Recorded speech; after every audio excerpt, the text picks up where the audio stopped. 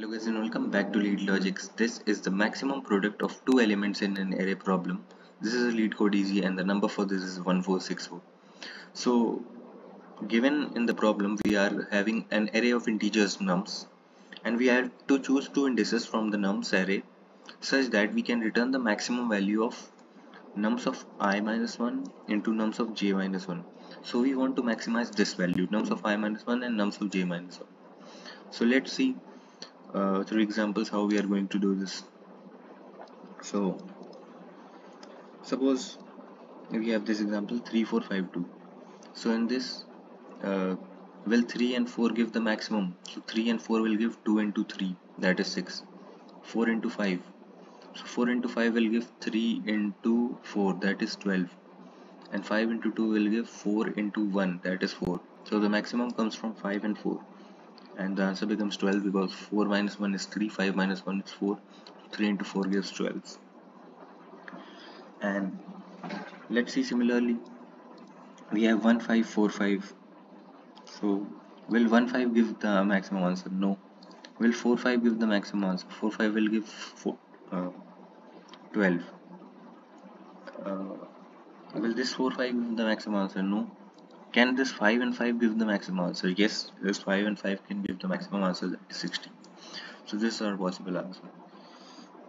So for this if you are asked in an interview what will be your brute force approach? So the brute force approach to solve this problem will be to uh, use two for loops. One for the uh, ith index and the second for the jth index and keep counting the maximum value of of this factor this factor and uh, and storing it uh, whenever it is maximum and then at the end you can return the answer.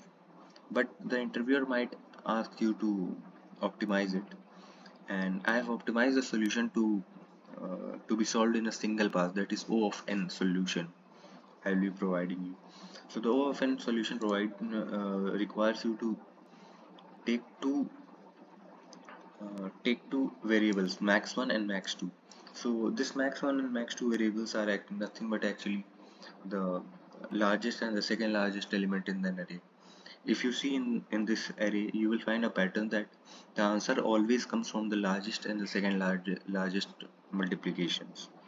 So that's why we are uh, going to solve like this. You can we are going to take the max 1 and we are going to take the max 2 and we are going to iterate over the array and uh, whenever we find an element greater than max 1 we can update the max 1 and whenever we find greater than max 2 we can update the max 2 and uh, similarly adjust the max 1 and max 2 and at the end what we can do is that we can uh, simply multiply the max 1 minus 1 and max 2 minus 1 and you will get the final answer. So the if you see for this example in the first iteration is 3 the maximum? Yes 3 is the maximum. Take 3 max 2 is still minus infinity. From the second iteration is 4 greater than max 1 yes. So 4 becomes max 1 and 3 becomes max 2 then comes the third iteration. Array element becomes 5 is 5 greater than max 1 yes it is. So make 5 as max 1 and 4 becomes max 2 then in the fourth uh, fourth iteration array elements become 2 is it greater than max 1 no. So we can pass so this is how we are going to solve it. So let's come to the code section but before that do like the video share it with your friends and subscribe to the channel. If you want uh, I can write the brute force approach as well. So in the brute force approach we are going to do nothing. I equal to 0 is less than n. Now start length i plus plus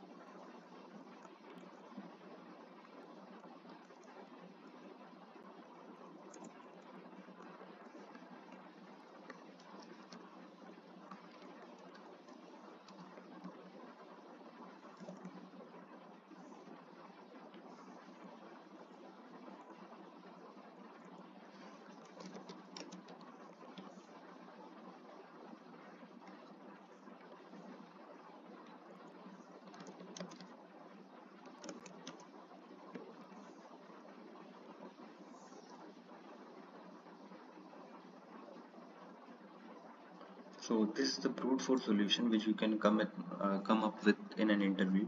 And the interviewer might be happy with the brute force but he would definitely ask you to optimize this solution. Uh, so I am going to submit it and check if it doesn't give a TLE I don't I don't think it should give a TLE but it doesn't give a very good time complexity or a memory complexity. So for this we need to uh, optimize this solution. And how we are going to optimize this you see these two loops we want to reduce it to one loop. And how we are going to do this? So we are going to take instead of the maximum we are going to take a max one. Initialize with integer dot min value.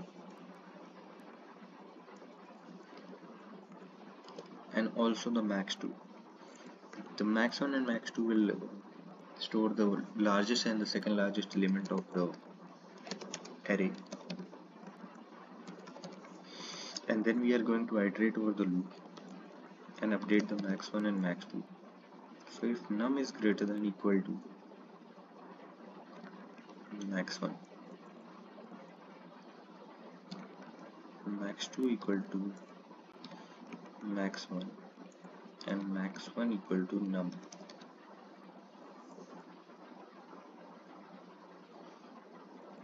and else if num is greater than equal to max 2 so max 2 becomes num. And we can go simply out of the loop return max 1 minus 1 into max 2 minus 1 let's see if it's run for the sample test cases.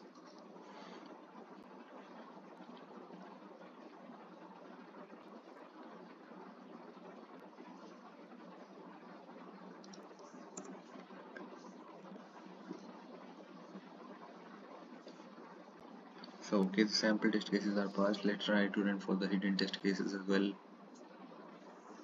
so the hidden test cases are also passed with a good uh, time complexity and a fair memory complexity. So the time complexity for this solution is o of n because we are iterating through the array once. And the space complexity is o of 1 as we use a constant amount of space we do not use any extra space except for the variables which are constant. So I hope you understood the logic both the brute force and the optimized approach. You can also check the C++ Java and the Python C++ JavaScript and the Python code in the solutions panel by going into the solution and checking this solution. This is my solution. You can see the handle and you can read the intuition approach complexities and uh, code Java, C++, Python, JavaScript. And yes remember me to upload. thank you for watching the video. I hope you understood like it uh, please do like the video share it with your friends subscribe to the channel. Thank you for watching the video. Have a nice day